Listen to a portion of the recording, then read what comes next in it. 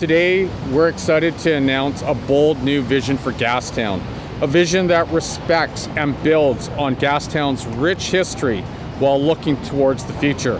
It's a vision for a Gastown that is people focused, vibrant, prosperous, and fun.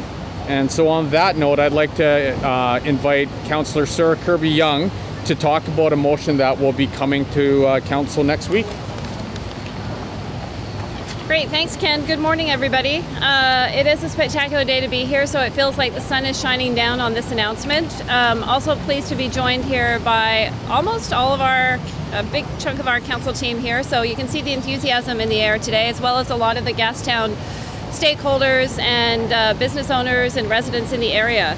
So, as Mayor Sim mentioned just now, uh, we will be introducing a motion at the upcoming council meeting which aims to create a bold, pedestrian focused vision for this historic neighborhood.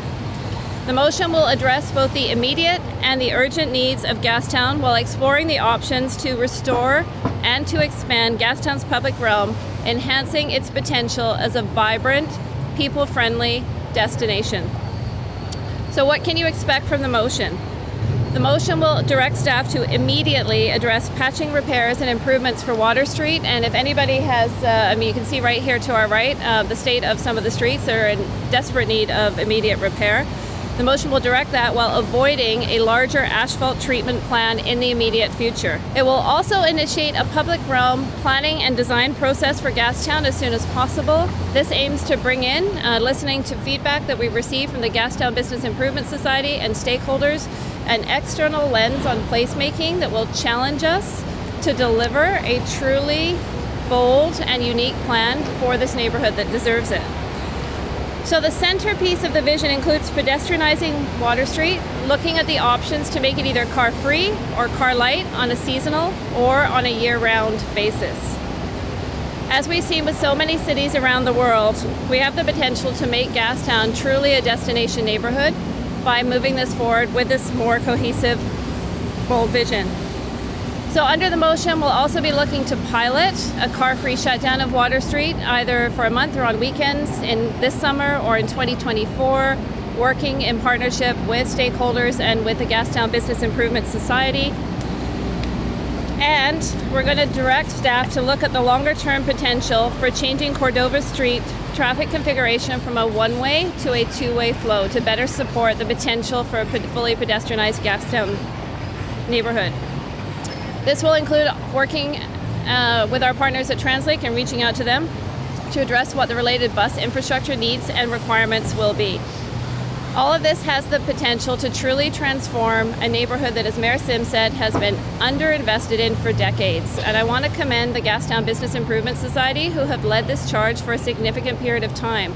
They undertook a, um, an urban study process that was called Gastown Tomorrow, and I think the spirit of uh, that theme really encapsulates what we're talking about today. And it was called Old Soul and New Spirit. And what we're looking to do here is harness the history of Gastown and unlock the vibrancy and the potential of a neighborhood that people will flock to and enjoy to create an absolute signature in our city.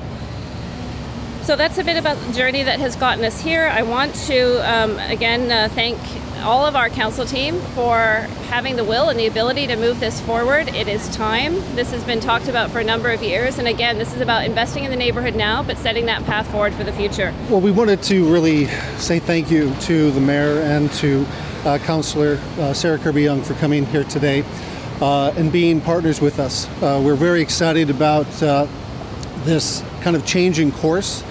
We have spent many many times in many meetings uh, talking about piecemeal projects in this neighborhood, and finally, we're going to get to uh, a comprehensive, uh, innovative public realm plan for this neighborhood.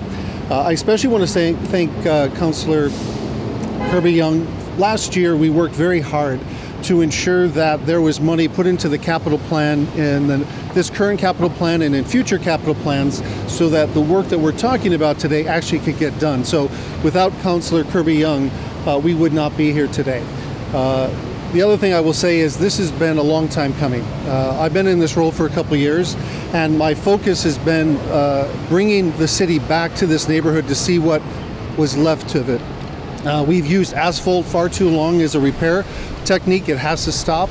Uh, the good news is we've seen over a dozen uh, sidewalk repairs happen here in the last six months.